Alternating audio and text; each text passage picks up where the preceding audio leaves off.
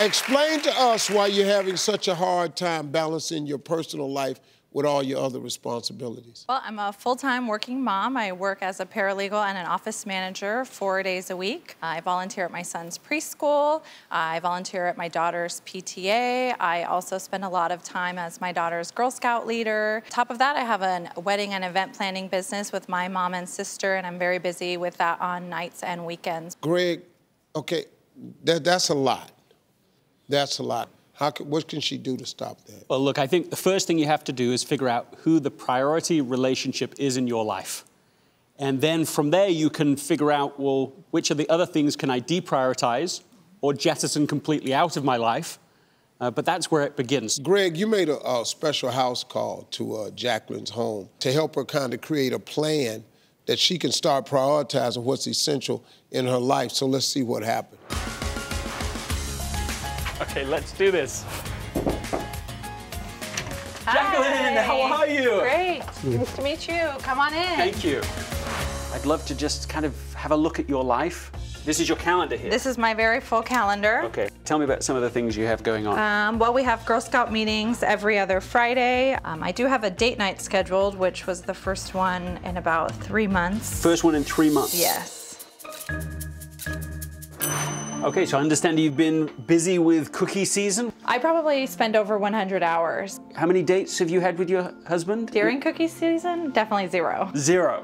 And who's the priority relationship in your life? I want it to be my husband. What for you is something that is non essential that you're over investing in?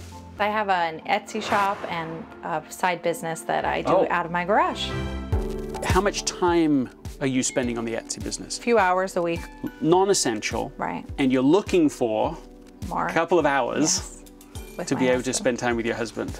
Just- I see, I see what you're doing there, yeah. So that's where you can make the trade off. right, And now we're going to build the system so that you can actually make it happen. wonderful. The first thing I want to talk about is just like a reward. Something that you get if you successfully make the trade off. So, what's a reward? It could be bigger or smaller whatever, but I just, just want a weeknight off with my husband as a reward. The second thing we need is to establish an accountability partner. Who comes to mind for you? That'll be my sister. What's something else that you think would encourage you, motivate you to do this this week so you can be successful? Um, I would like my husband to know because I want him to kind of cheer me on since it is a lot about him. When you look at this combined and everything we've talked about, what is your confidence level that you can actually get this done? 100%. I can do this. 100%. Yes. You're going to do this. Yes. Steve, we'll see you back in the studio.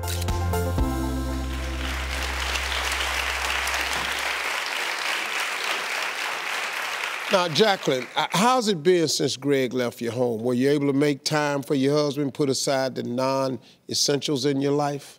Well, first, I wanted to thank Greg for coming to my house. He helped me reprioritize all the things I had on my plate and move some things that were maybe at the bottom to the top of my list. I put my Etsy shop on vacation mode. I didn't close it completely, but by doing that, I was able to go on a date with my husband this week. So.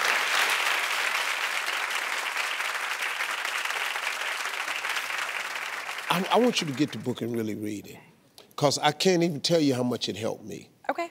I think you're going to be fine. I think you'll get it right. Thank you very much, Thank okay? you. And a special thanks to my buddy Greg McKeown.